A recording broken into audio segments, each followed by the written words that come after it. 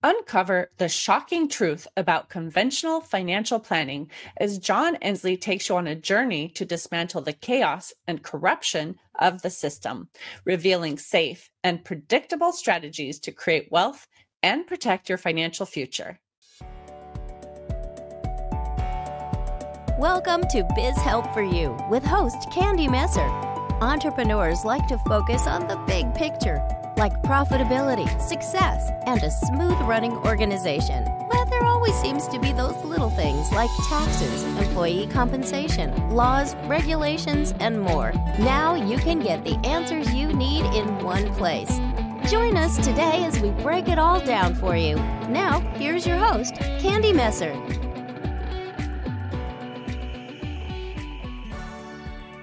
Hello and welcome to Biz Help for You with Candy Messer. Thank you for joining me today. If you missed my last episode and would like to listen to the show, links can be found on my social media pages as well as multiple favorite podcast platforms. And if you'd like to receive notifications on when my podcasts have been uploaded, please like and subscribe. Now, let me tell you a little bit about my guest today. John Ensley is leading a financial planning revolution to help you take back control of your money, your lifestyle, and your retirement plan.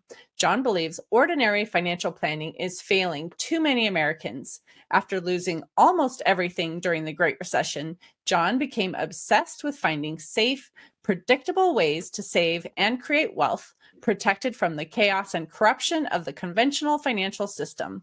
Founded in 2012, John is president of J. Ensley Financial, a fiduciary and financial planning company.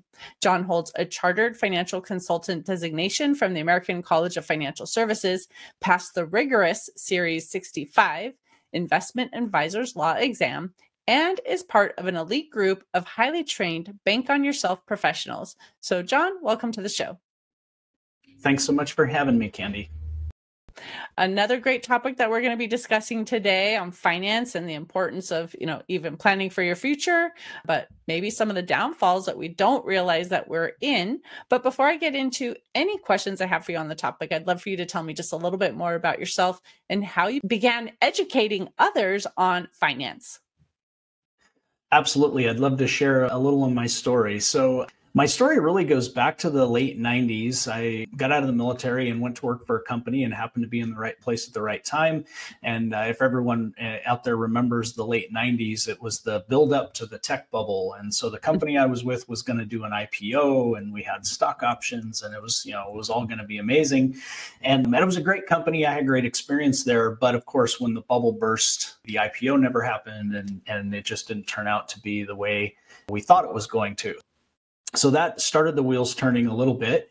But I left that company with some money in an employee stock ownership plan, which is kind of like a 401k, and did some calculations and realized that I wasn't real happy with the outlook on, on taxes later on. So I decided to do something different and went into a real estate investment and of course now we're building up to the mid 2000s and uh, mm. i had some some property in washington. I subdivided. I was building spec homes.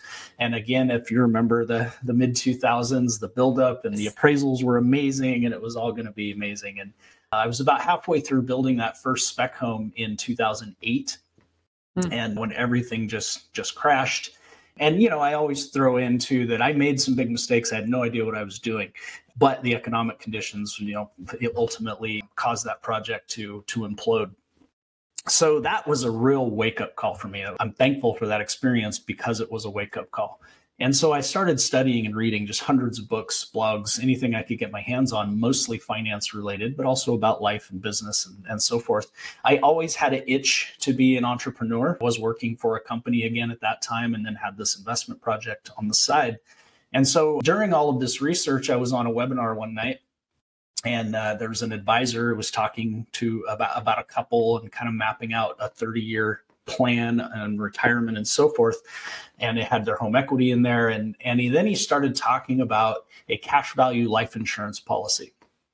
And it was my first exposure to the idea that life insurance could be something other than a death benefit, that there might be some mm-hmm. other purpose. And so it got my attention, and I started studying and reading more and finding more information about that topic and that concept. And ran across a book called Becoming Your Own Banker by R. Nelson Nash, and then another one called Bank on Yourself. And these are just brand names that, that describe something that's been around a long time in a unique way to use cash value life insurance. So I set up my own policies and started using them. And I, I got very excited about this idea. And the, the real turning point was when I realized that had someone shared this concept with me before the real estate project, it could have really turned the outcome of that project. And, and if nothing else, even if the whole thing failed like it did, I would have been able to bail myself out using this technique. And I'd been to many financial advisors. Nobody had ever mentioned this to me before. And so I decided, well, you know, I, am ready for a career change. I'm ready to, to kind of be my own business. And so I launched my practice in 2012 specifically to help people, entrepreneurs, et cetera, learn about this concept and, and implement if it's the right fit for them. Mm-hmm. And I know that from your interpretation, you know, the financial system just isn't working and it's chaotic and corrupt. So, can you touch on that topic a little bit and explain to the listeners why you feel that's the case? Absolutely, and that's another reason that 2008 period was kind of that wake up call for me. Is I, you know, I'm I'm looking around while from the the smoke and ash that I find all around myself. You know, I see bailouts going to big banks. I see mm-hmm. all these things going on around me, and yet you know everyone I know is has lost huge values in their retirement plans. They're underwater on their their homes. They're right. All these things were going on, but yet kind of what what what jumped out at me is sort of the orchestrators of that crisis all got bailed out basically. Mm-hmm. And you know, the rest of us had to figure it out, which of course we we did because that's that's just how most people are. They figure it out. So that didn't seem unfair to me. And then as I went kind of went down that path, I started learning about you know how our money comes into being uh, fractional reserve banking system and the federal reserve and where that all came from. I don't want to go over the line into conspiracy theories but there there's a, a lot of very unsavory characters doing unsavory things that that exist to this day.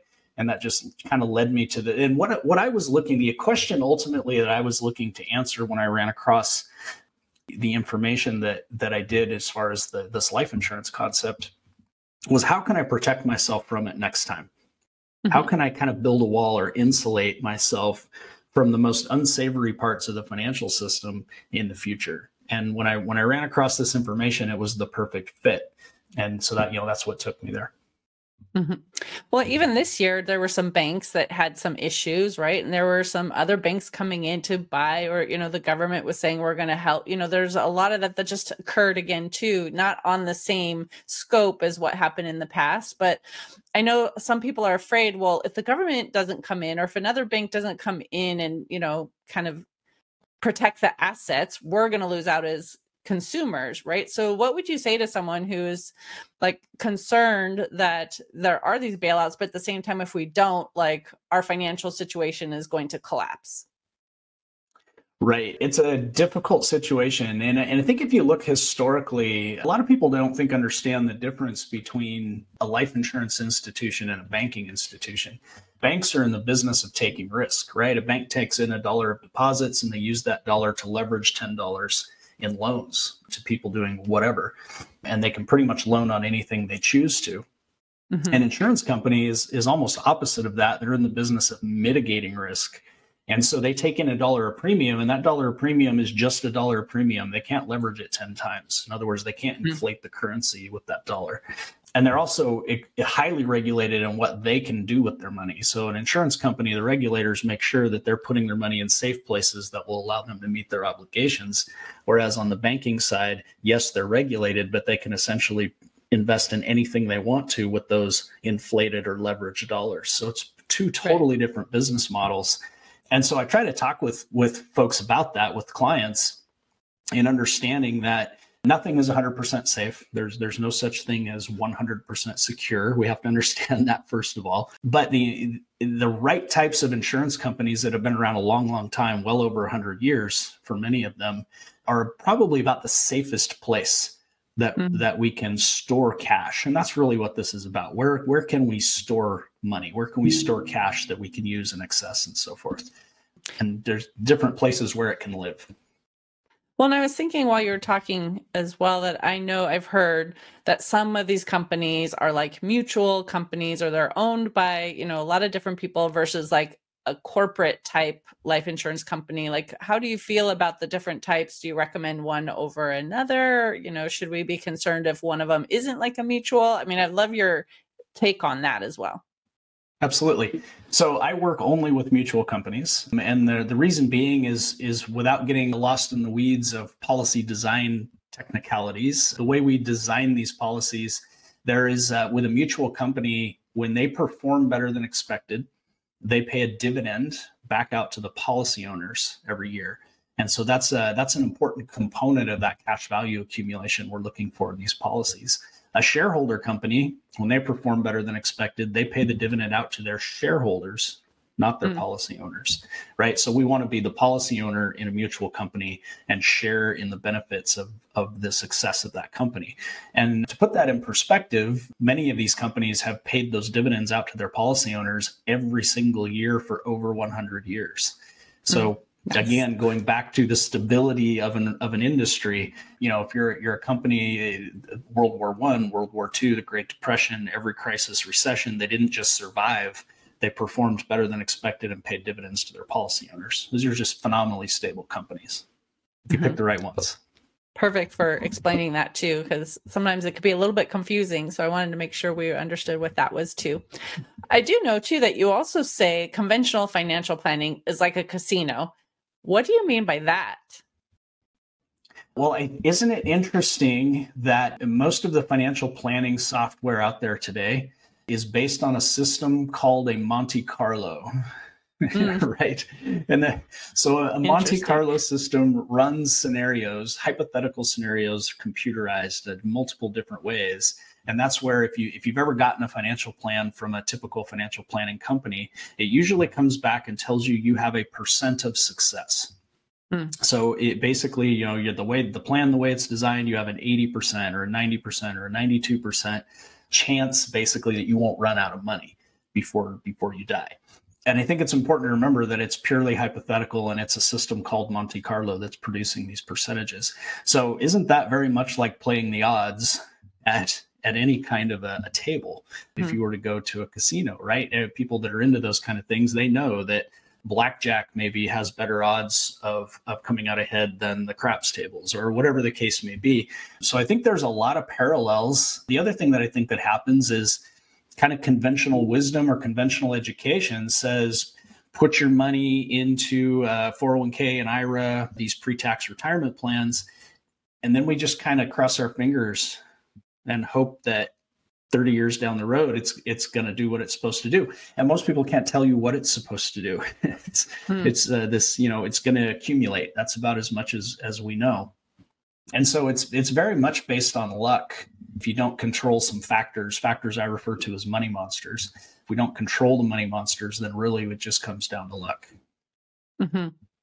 well and we are taught you should have a financial plan, right? And not just, mm-hmm. you know, put off until later. And there's, you know, compound interest and it's important to get into the market or have, you know, like if you're employer matches a donation you should participate in 401k there's all these things that we hear and we think mm-hmm. we're doing the right things right? But maybe we aren't meeting the goals that we have for ourselves. So like what would you say about those types of things as well? Like should we still be putting money in through our employers through a 401k for getting a match but maybe only up to the match? Like i'd love to have your feedback on kind of all of those types of things as well yeah absolutely I think there's a lot of information we get in the financial services world that may or may not actually be true in the real world.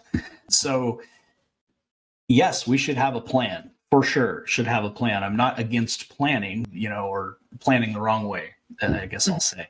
And we should all have savings. I think that's one of the things we miss in financial planning is a financial planning for most people means locking their money away somewhere where right. they can't get to it. And now we have statistics that say something like 40% of the American families uh, can't afford a $400 bill without borrowing money to cover it. Right. We no longer have savings. We no longer have cash on hand to deal with the things that happen in life. You know, the, the transmission goes out on the car, the mm-hmm. heater, you know, the furnace dies, whatever.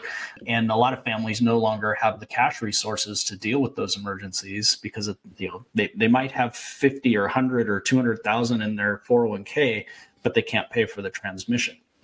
Mm-hmm. And I mm-hmm. think there's a real mismatch there in terms of having emergency funds and having access to cash. It's it's super important. So the the question of whether to contribute or how much to contribute is so individual. Every mm-hmm. single individual that would be a a a analysis of all their circumstances to answer that question. I think in many cases it does make sense to take advantage of a match if there's one available, but only up to the match. Mm-hmm.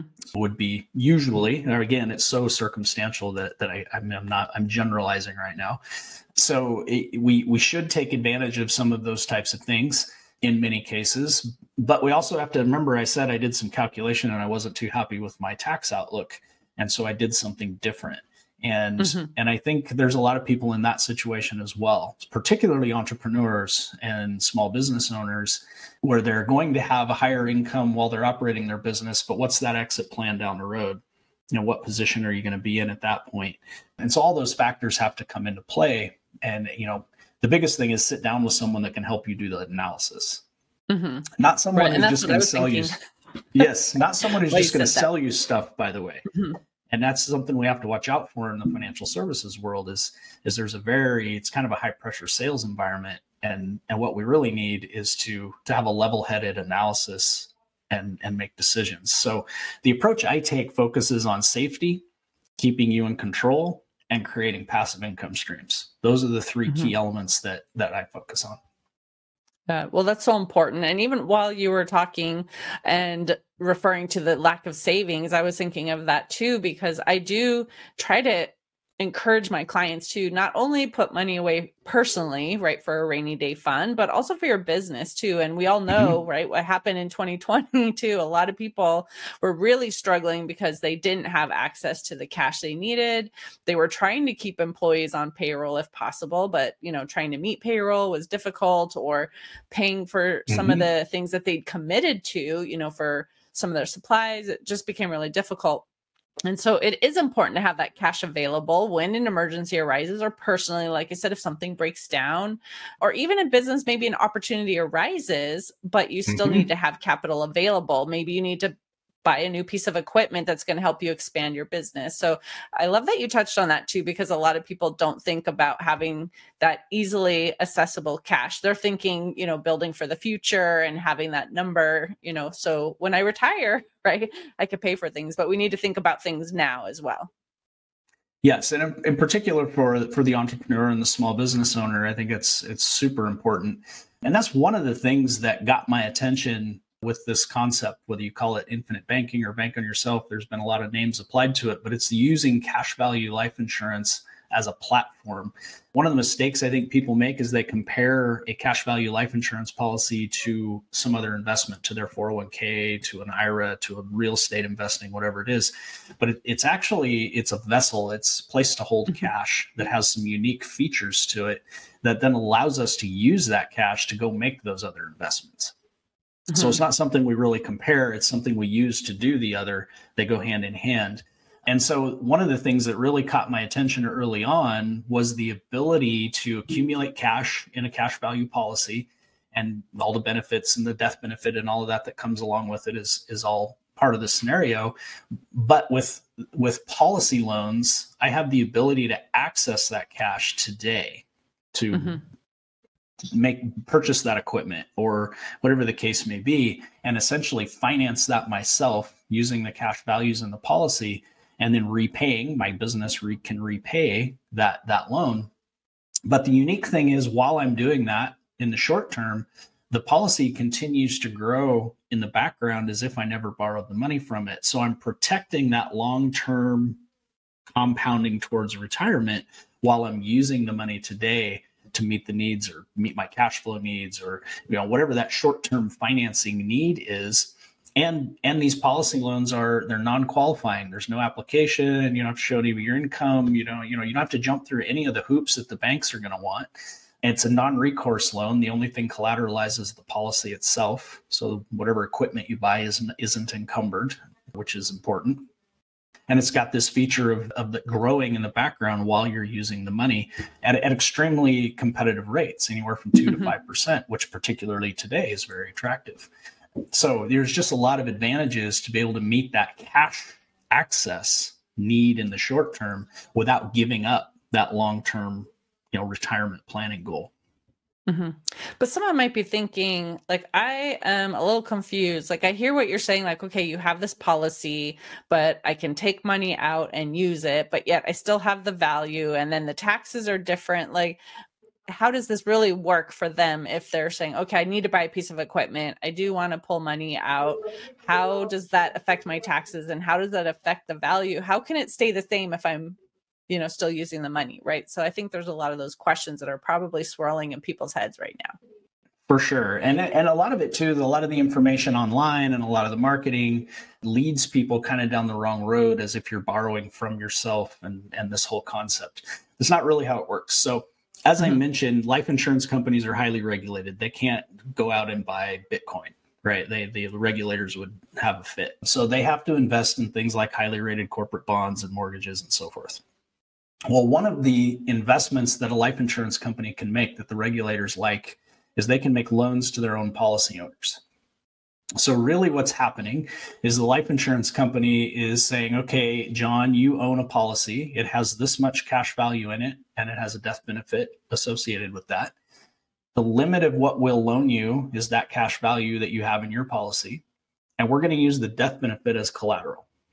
Mm. So, we're borrowing from the insurance company, not from our own policy or you know we're not physically pulling money out of the cash value on the policy. We're borrowing from the insurance company up to the amount of cash value we have in the policy. That's the limit of what the loan mm-hmm. is.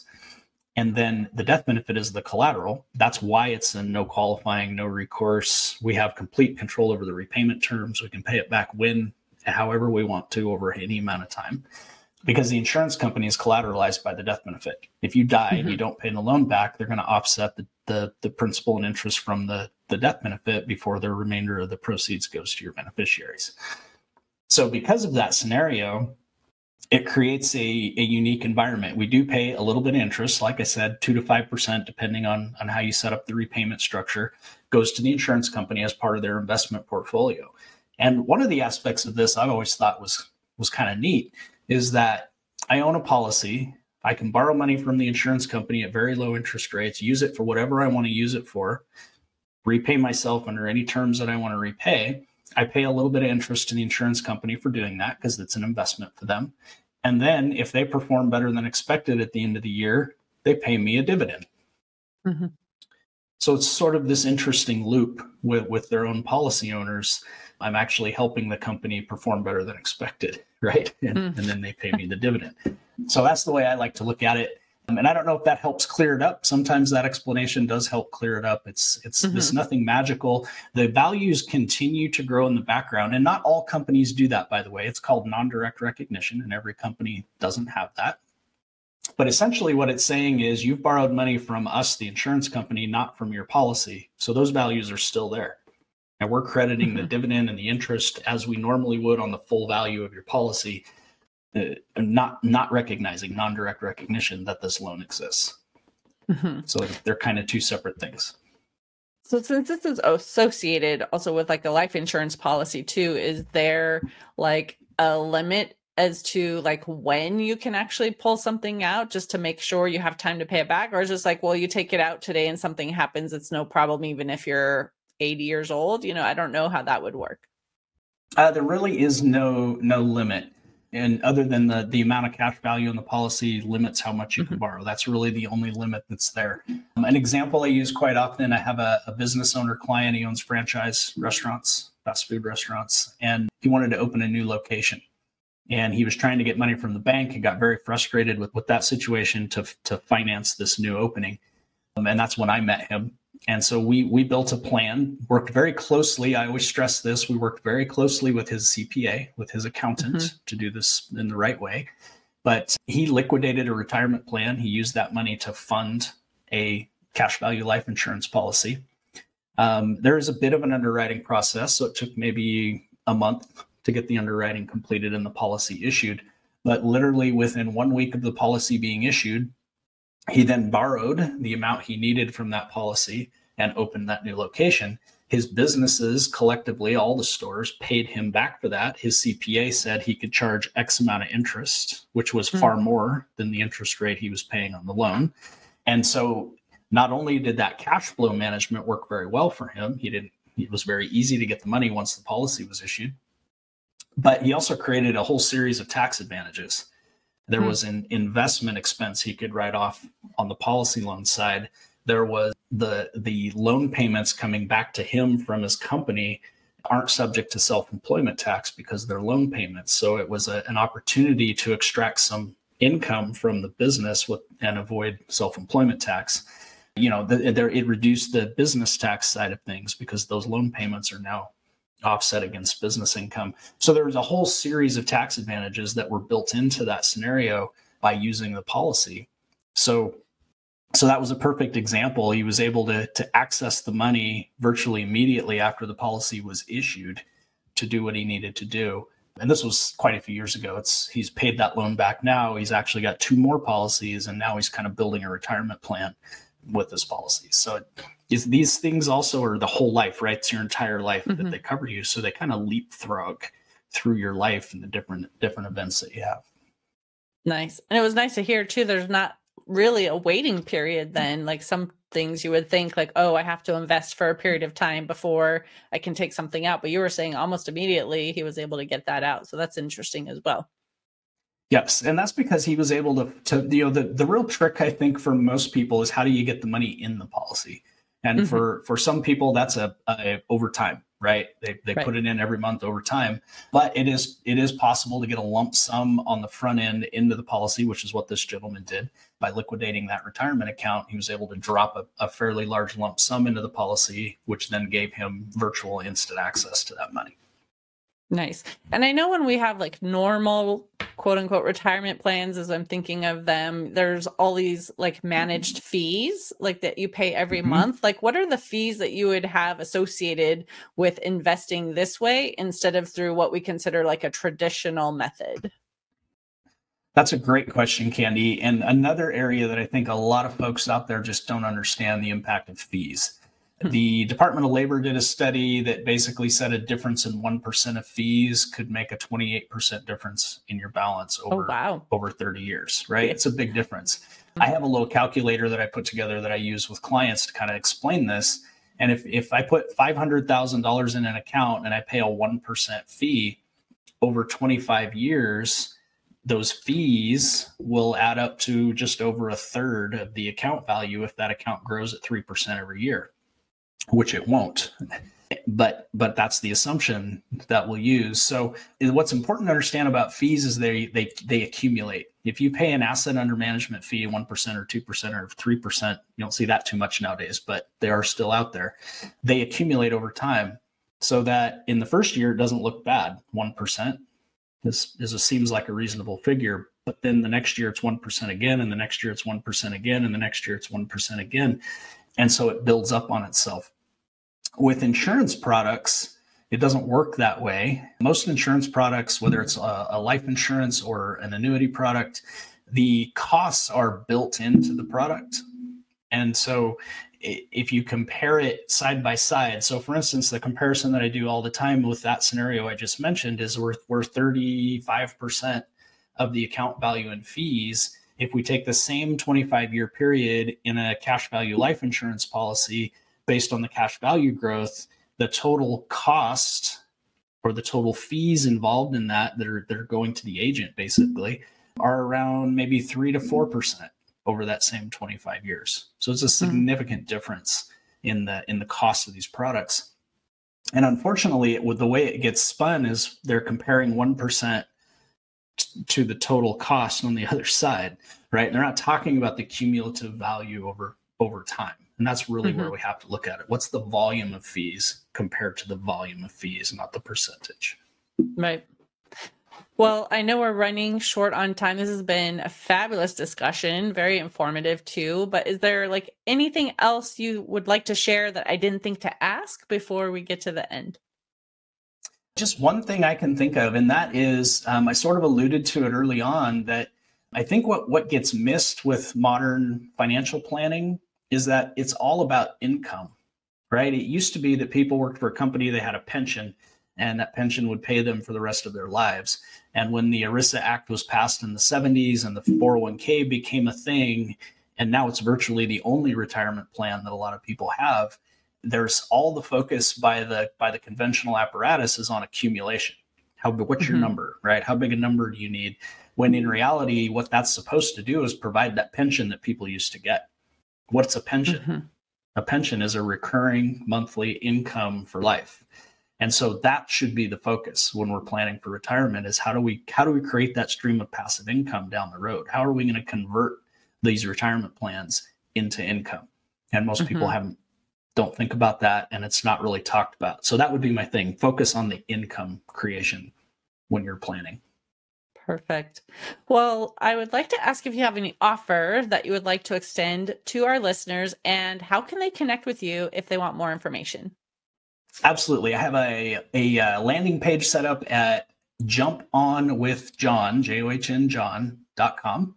And that will give you access to my calendar and you can schedule a free 30 minute uh, strategy session because uh, what I do may may be a fit for some and not for others. And the best thing to do is have a casual conversation and find out. Again, as I alluded to earlier, my promise is I don't do pressure. So uh, I just want to talk to people, educate them. And if it's a right fit, we'll both know it pretty quick. So it's jumponwithjohn.com. You can grab free 30 minutes in my calendar and, and we can chat. Perfect.